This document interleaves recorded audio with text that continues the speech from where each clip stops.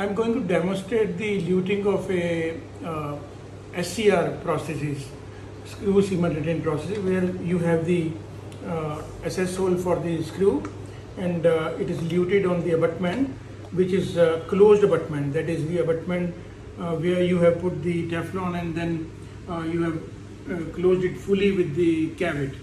So I will be putting the foam here like the cement you put in the prosthesis and then I will be uh, showing you how the movement of the cement is there inside the crown and uh, a very little pressure is generated at the margin so that it doesn't go in the gums right?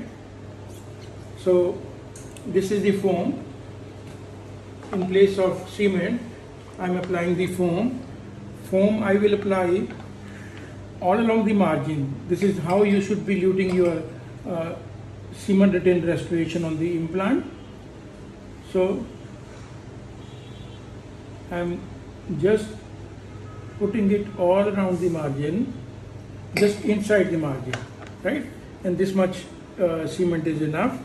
Now I am placing it over the closed abutment of the implant. Now you see no cement is coming out. And the uh, cement is flowing up in the vacant space and no cement is coming out of, from the margin and now it has reached the exit hole of the SCR prosthesis and it is coming out.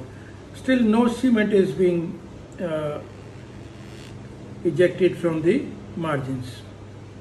So all the pressure of the uh, luting is dissipated at the apex only.